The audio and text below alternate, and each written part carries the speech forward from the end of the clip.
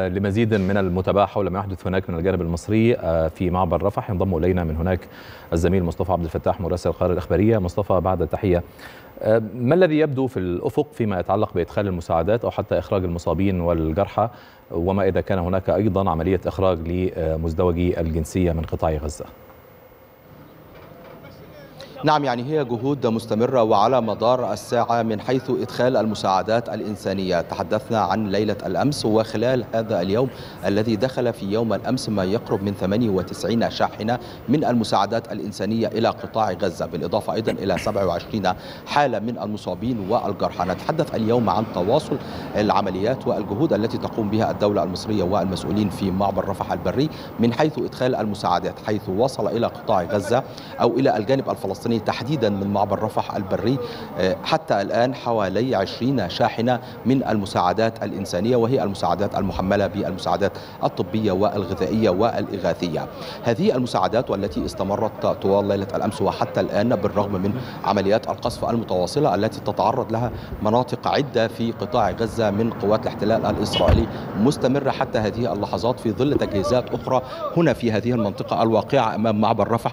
هناك ما يقرب من 150 شاحنة مجهزة وتنتظر هي الأخرى الدخول والإذن بالدخول إلى الأراضي الفلسطينية. أيضا بالنسبة لعملية استقبال الجرحى والمصابين فمنفذ رفح البري استقبل صباح اليوم حوالي ثلاث حالات من الجرحى والمصابين حتى الآن وهم الآن في طريقهم إلى المستشفيات المصرية والتي ينقلوا إليها عبر سيارات الإسعاف المجهزة التي خصصتها وزارة الصحة المصرية.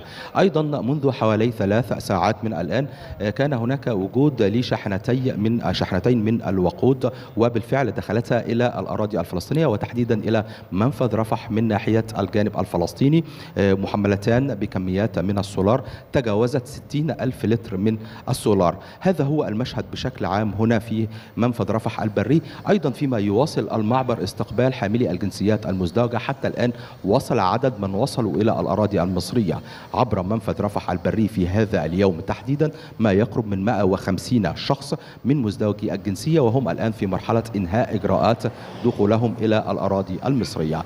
الجهود المصرية مستمرة فيما يتعلق بعملية إدخال المساعدات. المساعدات لا تتوقف على مدار الساعة من حيث توافد مزيد من الشاحنات التي تأتي من المدن القريبة من هذه النقطة الحدودية وتجهيزها وبعد ذلك اتخاذ الإجراءات اللازمة والمتعارف عليها والتي تتم بالتنسيق ما بين مصر والجانب الفلسطيني وجميع الدول التي تحرص على إدخال المساعدات. الإنسانية العمل العمل يستمر على مدار الساعة فيما يتعلق بكل المسارات التي تعمل عليها الدولة المصرية لتقديم يد العون إلى الأشقاء في فلسطين.